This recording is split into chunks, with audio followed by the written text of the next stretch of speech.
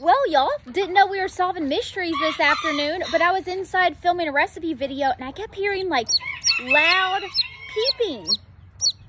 And I come out into the run and this is in the middle of it, screaming. This is like a fresh hatched chick.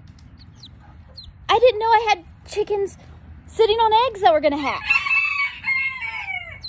It's a little Duclay. Where did it come from? I guess let's go investigate. Okay, so who did it? There's chickens in all the nesting boxes, but I swore I'd picked up all the eggs. They haven't been here that long.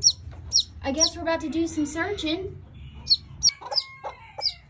Well, I'll be damned. What the heck is going on, ma'am?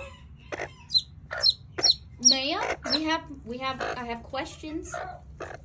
I'm not doing the whole mom and baby thing again. As you can see, I already have three pairs of them in my run.